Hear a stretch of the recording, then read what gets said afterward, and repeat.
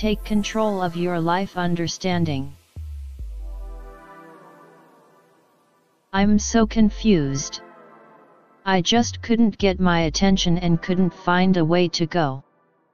I think I'm about to give up. I'm bored and tired of my responsibilities. I was acting without knowing which of the many options I encountered would be worth it. I think I'm lost in my head. I will not find a way out. The lack of support from people around me made the situation worse. Now I had to be a little quiet and calm. Then, suddenly, I realized that it actually came from me.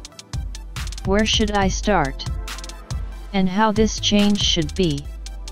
I did not know. Then I sat in a quiet place to listen to myself a little. I was trying to think nothing.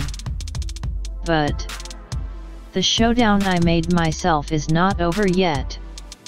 I was angry because I thought it wasn't fair for me. I thought I allowed all this and people were ridiculous in my effort to find myself. I always thought I was ridiculous. I think of negative situations and I wish I could say that.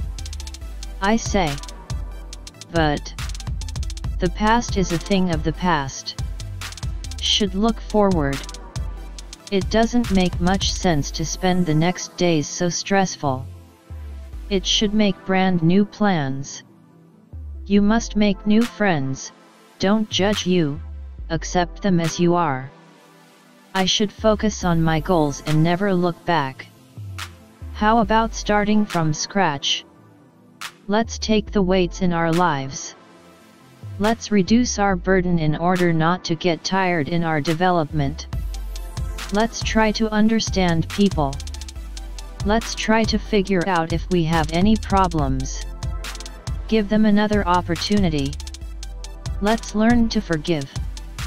If we forgive the troubles we are experiencing, love and acceptance, we hate it if we don't forgive.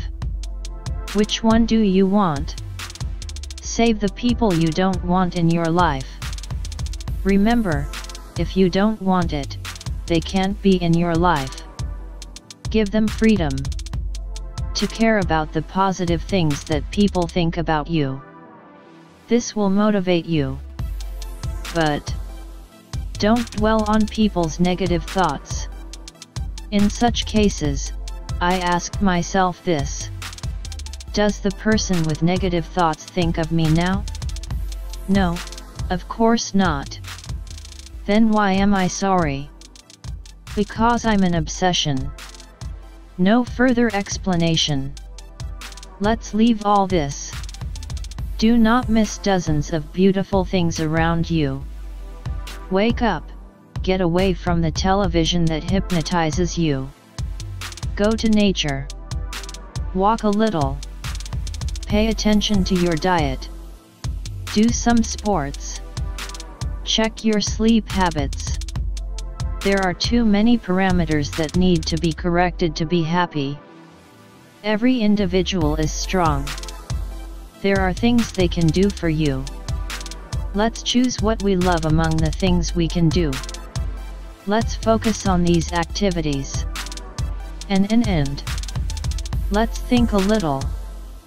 We will surely find the right way. I hope you find your way. Today is the first day of my remaining time.